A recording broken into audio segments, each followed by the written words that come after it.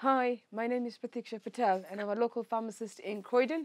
Feeling unwell, pharmacists are healthcare experts who can help you with minor health concerns. We do not only do prescriptions or the flu jab, we also provide advice on minor health conditions such as cough, colds, sore throats, eye infections. We have a consultation room which allows you to have a private consultation with a pharmacist. At the first sign of a winter illness, see a pharmacist, don't let it get worse. You can check the opening times and the services your local pharmacy provides by searching NHS Find a Pharmacy.